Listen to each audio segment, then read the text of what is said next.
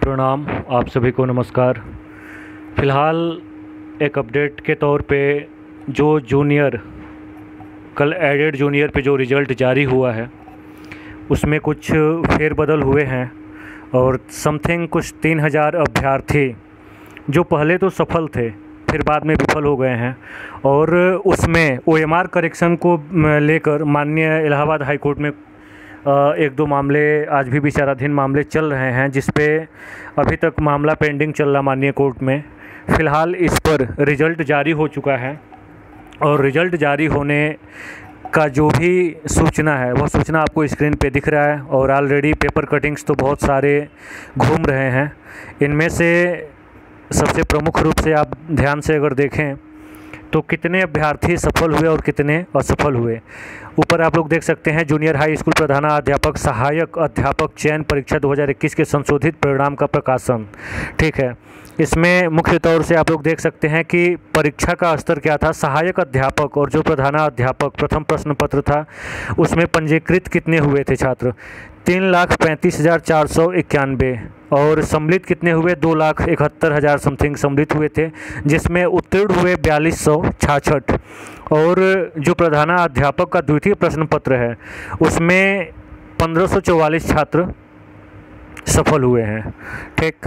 तो ऐसे सब मिलाकर अगर देखा जाए तो रिज़ल्ट में जो हेर फेर हुआ था, उसे सुधार करके और रिज़ल्ट जारी किया गया है, क्योंकि तमाम छात्रों का मामला फंसा पड़ा था, जिसे सुधार किया गया आयोग की तरफ़ से। सुधार करने के बाद इसे जारी कर दिया गया।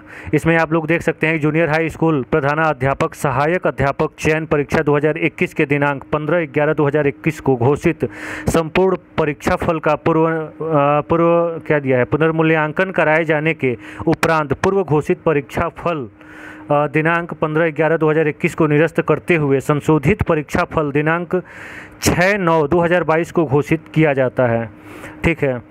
और इसमें आप लोग देख सकते हैं, अभ्यर्थी उक्त संशोधित परीक्षा परिणाम का अवलोकन दिनांक सात नौ 2022 के अपराह्न से वेबसाइट पे यह अपलोड हो जाएगा। तो काफ़ी कल का रिज़ल्ट अपलोड हो चुका है। और इसमें अभी आपको जस्ट हम आगे स्क्रीन पे दिखाएँगे कि जो हेर फेर हुआ था, जैसे कि कुछ अभ्यर्थी पहले सफल हो गए थे, फिर बाद में उन्हें विफल किया गया।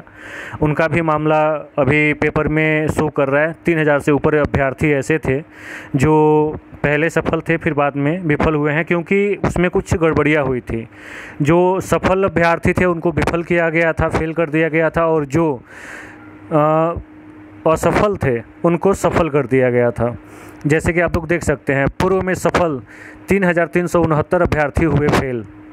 इसमें देखिए दे, दे क्या रहा है कि प्रदेश के तीन हज़ार उनचास सहाय सहायता प्राप्त जूनियर हाई स्कूलों में सहायक अध्यापकों के 1504 और प्रधानाध्यापकों के 390 पदों पर भर्ती के लिए 17 अक्टूबर 2021 को आयोजित लिखित परीक्षा का संशोधित परिणाम मंगलवार को जारी हो गया।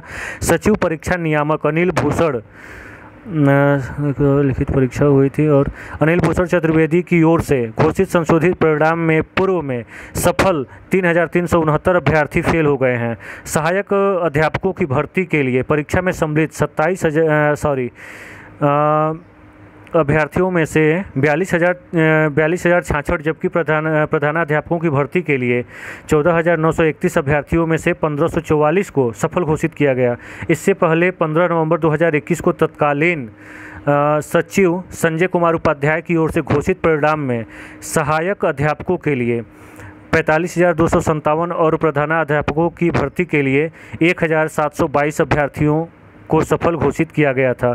सचिव ने स्पष्ट किया कि संशोधित परिणाम बुधवार अपराह्न से वेबसाइट पर चालू तीस सितंबर तक उपलब्ध रहेगा और क्या दे रहा है? सैकड़ों की संख्या में अभ्यर्थियों की कापियाँ जाँच दी गई थी जो उपयुक्त नहीं थे। तो इसमें जो फिर बदल हुआ था फिर बदल के कारण बहुत सारी समस्याएँ आई हुई थी और मैंने पहले ही बताया था आ, कि जो मामले, वो एम आर करेक्शन को लेके जो आयोग के द्वारा गलतियाँ हुई थी, वह मामला आज भी विचाराधीन चल रहा मानी इलाहाबाद हाईकोर्ट में। और इस तरीके से तमाम जो आयोग की तरफ़ से जो भी गड़बड़ियाँ रहती हैं तो आयोग को जहाँ लग रहा है कि नहीं, यहाँ अगर हम विफल हो जाएँगे और जनता में गलत संदेश जाएगा, वहाँ सरकार तुरंत उस पर सुधार करवा लेती है। लेकिन अब जैसे यू पी के अपर प्राइमरी या प्राइमरी या फिर एडेड जूनियर का ओएमआर करेक्शन का जो मामला है, आज तक ओ एडेड जूनियर ओएमआर करेक्शन का मामला आज तक हर जगह खारिज हो जाता था, लेकिन इतने, इस बार बड़े मजबूती पक्ष के साथ लड़ा गया था। मामला माननीय कोर्ट में नोटिस हुआ, आयोग को नोटिस भेजा गया और उसमें जवाब दाखिल की भी प्रक्रिया की गई, लेकिन अगली सुनवाई की तारीख अभी निर्धारित नहीं हुई है, जिस वजह से अभी मामले पर सुनवाई नहीं, फैसला अंतरिम फैसला नहीं हो पाया है। लेकिन मैं इतना कहना चाहूँगा कि धैर्य रखें, अगर सुधार होता है और सुधार करके जितने भी अभ्यर्थी कोर्ट में कोर्ट में उपस्थित हो रहे हैं, जो याची बने हैं, संभवतः उनका कहीं ना कहीं सुधार अगर होने के बाद अगर लड़के सफल होते हैं तो उनका रिज़ल्ट दोबारा रिवाइट सुधार करके और जारी किया जाएगा। अगर कोर्ट से आदेश पॉजिटिव आता है तो सुधार होगा, नहीं आता है तो खैर कोई बात नहीं। बाकी धन्यवाद।